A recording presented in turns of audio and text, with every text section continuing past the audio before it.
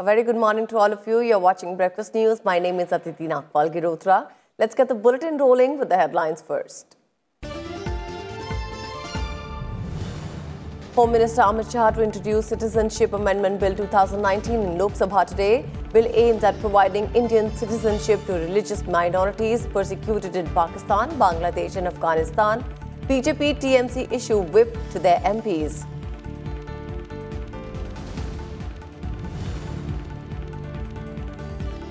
Rajya Sabha to take up recycling of ships Bill 2019 for passing.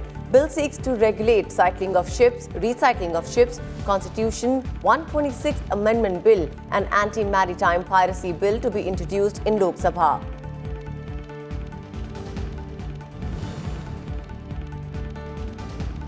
Vice President Naidu calls for immediate efforts to reduce heavy pendency of court cases. At All India Conference of DGPs and IGPs, Prime Minister Modi emphasizes effective policing of women's safety.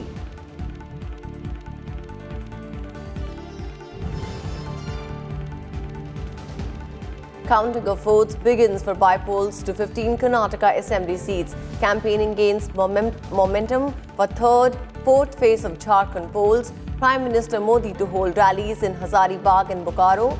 Congress leader Rahul Gandhi in Hazaribagh.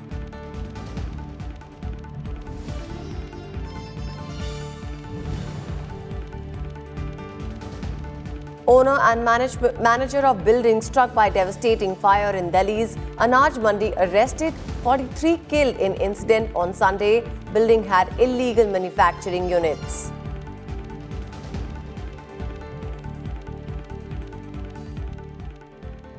Let's begin with a look at the legislative business in Rajya Sabha today.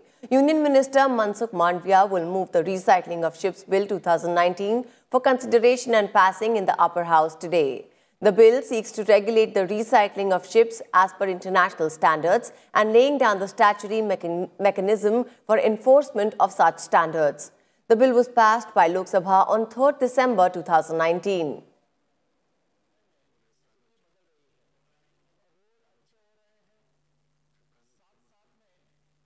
Important bills are listed in Lok Sabha's legislative business today. The Citizenship Amendment Bill 2019 is slated for introduction in the Lok Sabha. Home Minister Amit Shah will introduce the bill to further amend the Citizenship Act 1955.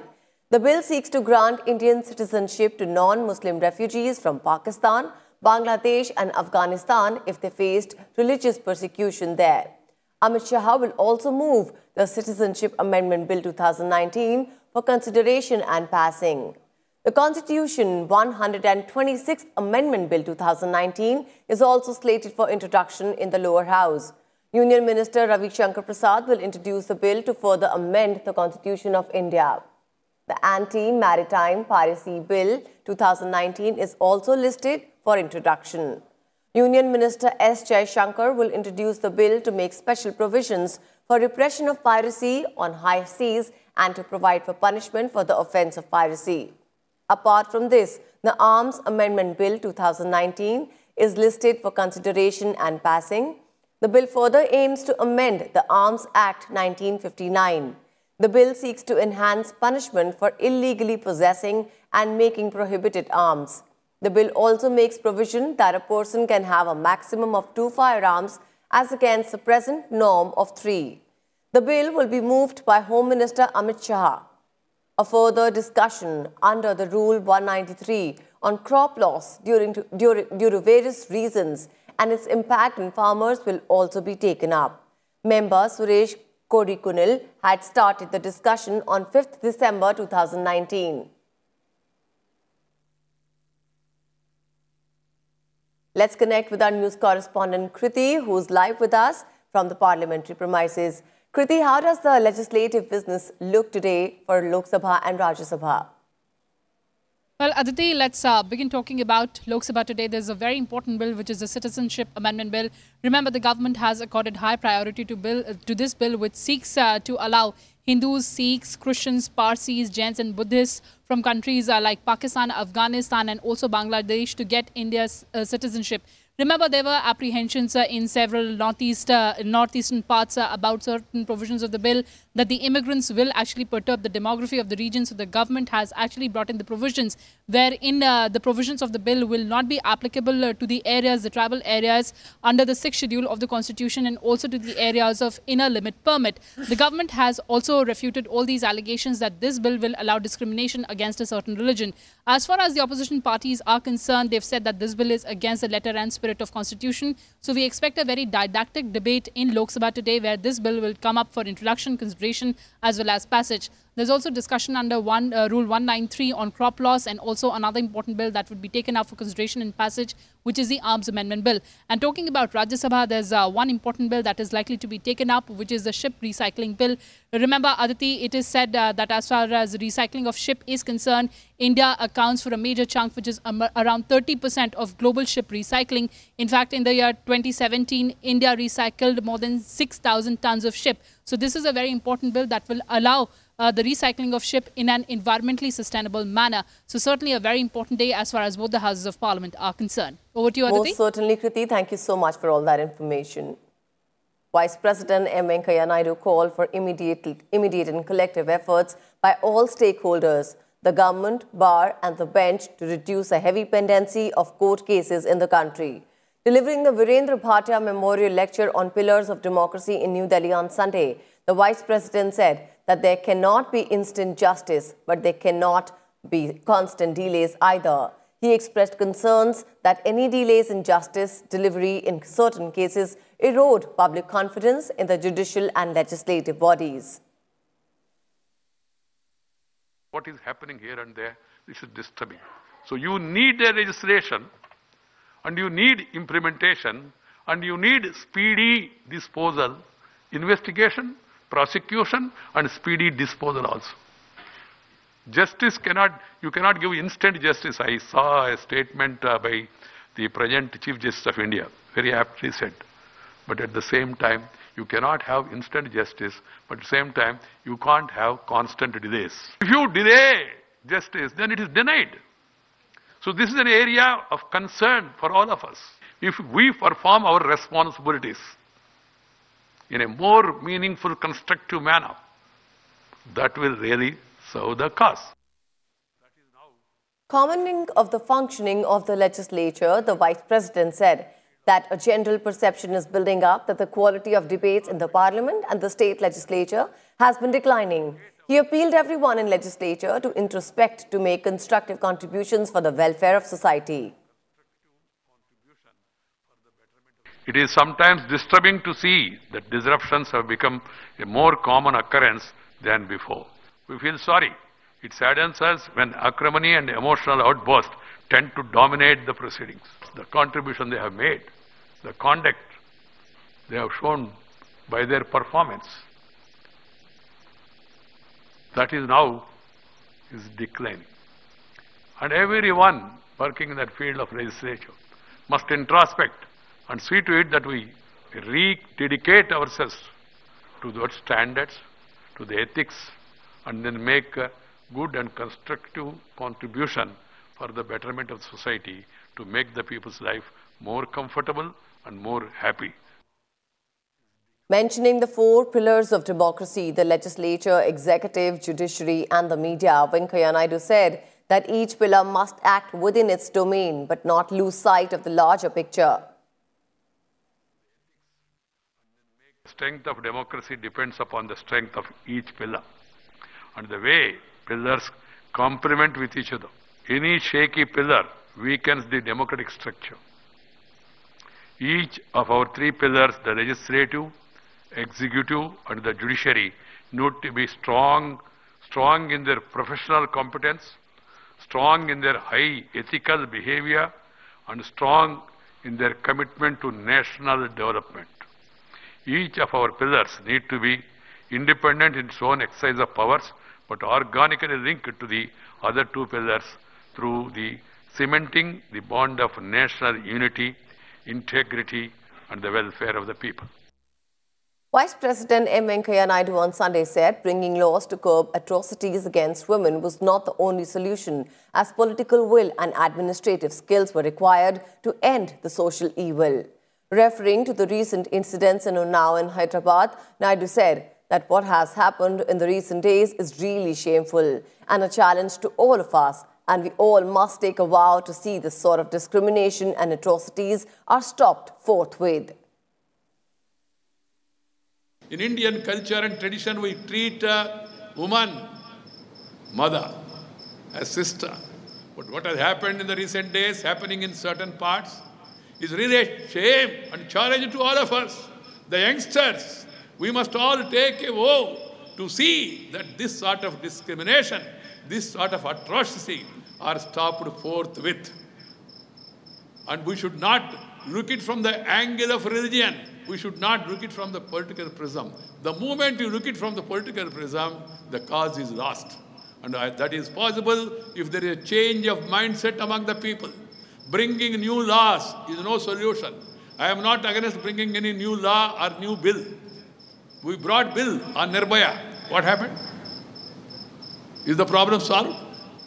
So I always feel that what is required is not a bill, political will, administrative skill, go for the kill of the social evil. That is required. Vice President was addressing the 16th convocation of the Symbiosis International University at Pune. Naidu also underscored the importance of education for economy, family and society. Education must teach us way of life. Education must give us opportunities for self-respect and also self-employment and also better opportunities in life. Education is not for mere employment.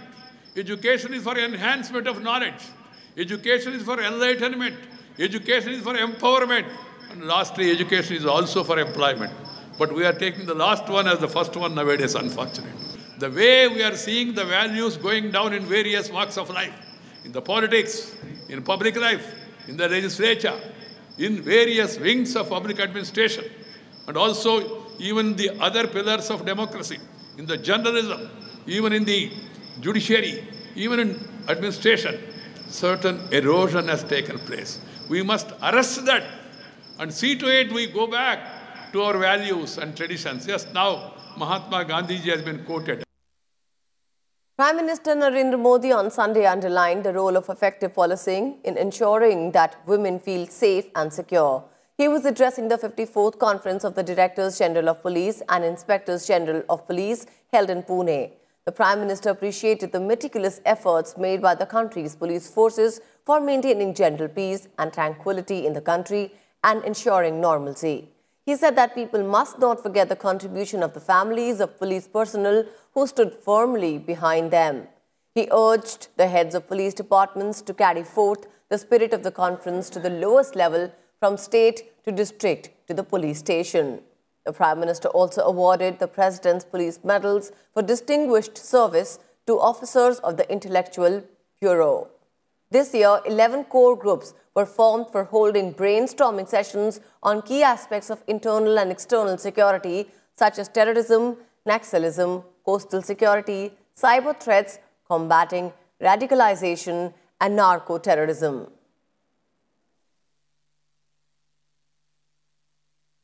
Urging for quick disposal of rape cases, Law Minister Ravi Shankar Prasad on Sunday said he would write to all chief ministers and chief justices of the high courts to complete investigation in cases of rape and those registered under the POCSO Act in two months. He also suggested that trial of such cases should be completed within six months. महिलाओं पर हिंसा बलात्कार दुर्भाग्यपूर्ण है बिल्कुल condemnable है और हम सबको मिलकर इसकी चिंता करने की ज़रूरत है। मैंने माननीय मुख्य न्यायाधीश सुप्रीम कोर्ट के जस्टिस बोबडे से आग्रह किया था कि नए कानून के मुताबिक दो महीने में अनुसंधान पूरा होना चाहिए और ट्रायल छह महीने में पूरा होना चाहिए। तो सुप्रीम कोर्ट उनकी अगुवाई में इस बात की चिंता करे कि ऐसी घटनाएँ जो फास्ट ट्रैक कोर्ट में देश भर में हो, उनका जल्द से जल्द निपटारा हो। With this, we'll halt in for a quick breather, but we'll be back soon. Stay tuned with us.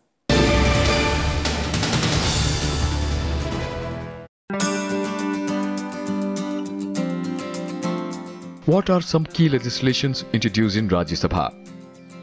Some of the key legislations introduced in Rajya Sabha are the Indecent Representation of Women Bill 1986, the Indian Succession Bill 1991, and the Marriage Laws Bill 1999.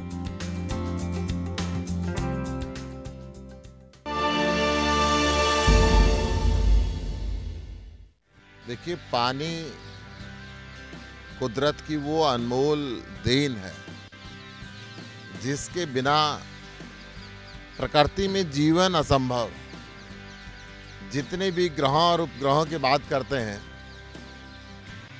जीव की उत्पत्ति वहीं संभव है जहाँ जल है। पृथ्वी पे जल की दिन प्रतिदिन बहुत कमी होती जा रही है। हम सबका दायित्व बनता है कि हम मिलकर जल का संरक्षण करें।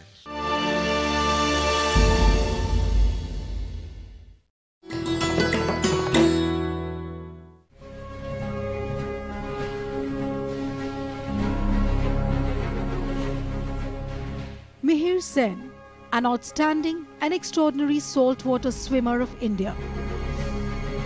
He is the first Asian to swim the English Channel way back in 1958. And just eight years later, in 1966, he swam the seven seas of the five continents in one calendar year, which etched his name in the Guinness Book of World Records. In 1959, he was also conferred the Padma Shri, and in 1967, he was awarded the Padma Bhushan.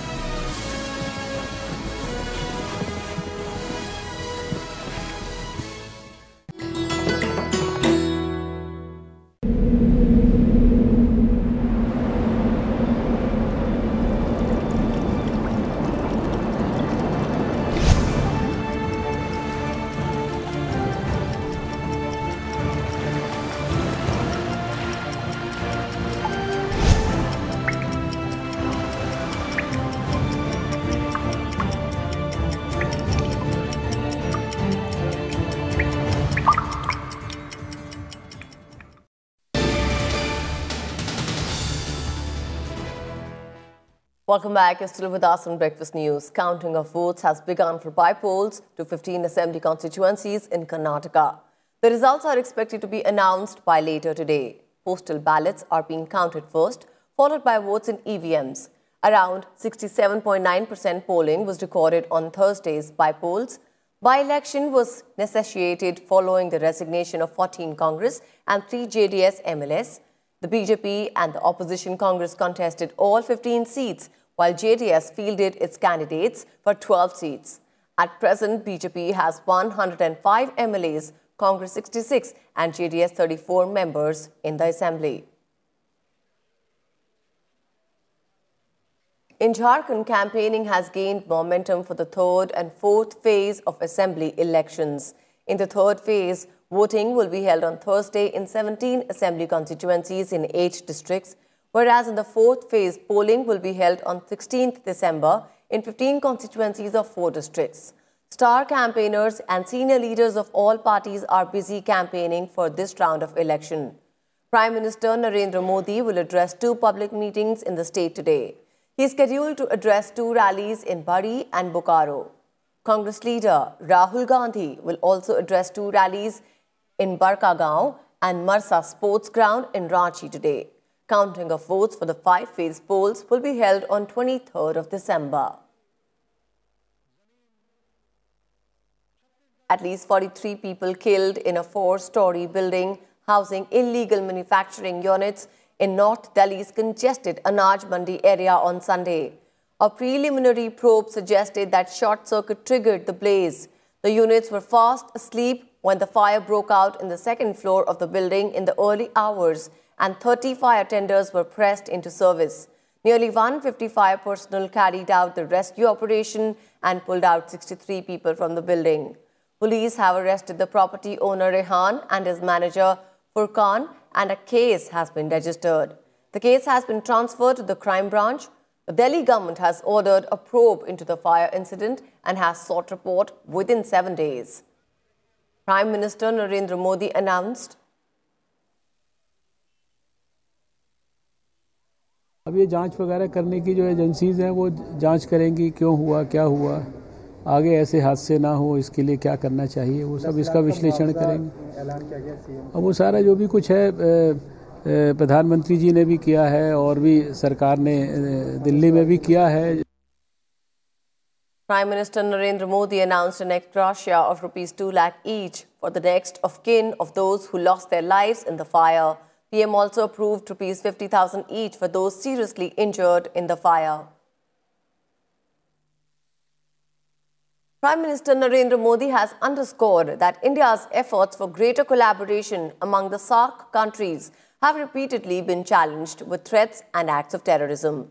In a letter to the SAARC Secretariat to mark the founding day of the bloc, the Prime Minister said all countries in the region should take effective steps to defeat the scourge of terrorism and the forces which support it. And all such efforts would generate greater trust and confidence to build a stronger SAARC. He said that the environment of terrorism impedes our shared objective of realizing the full potential of SAARC. On 8th of December 1985, at the first SAARC summit in Dhaka, the leaders of the seven South Asian states, the Maldives, India, Bhutan, Pakistan, Nepal, Bangladesh, and Sri Lanka, signed a, a, charter to establish the South Asian Association for Regional Cooperation. Afghanistan became the eighth SAARC member in 2007. SAARC Charter Day is commemorated every year to mark the signing of this charter. Prime Minister Narendra Modi met former Union Minister Arun Shourie at the hospital in Pune on Sunday evening. Modi said in a tweet that he had a wonderful interaction with Shourie and prayed for his long and healthy life. Arun Shourie is undergoing treatment after he fell on 1st December while out on a walk near his bungalow. The 78-year-old former BJP leader had suffered a brain injury, including internal bleeding and swelling.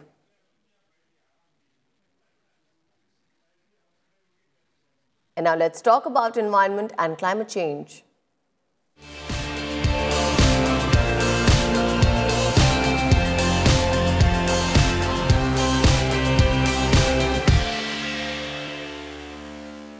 The expanding carbon footprint has been linked to international tourism that has been growing at 3.3% every year since 2010.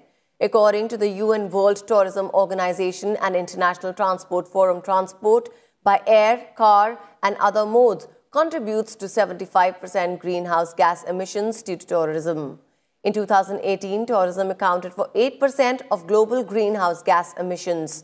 Emissions from transporting tourists reached almost 1,600 million tons of carbon dioxide in 2016, which was about 5% of all energy-related emissions.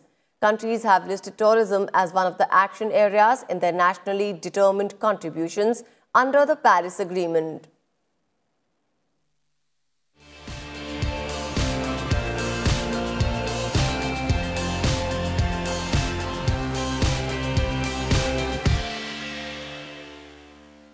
India clinched 252 medals at 13th South Asian Games in Nepal on Thursday.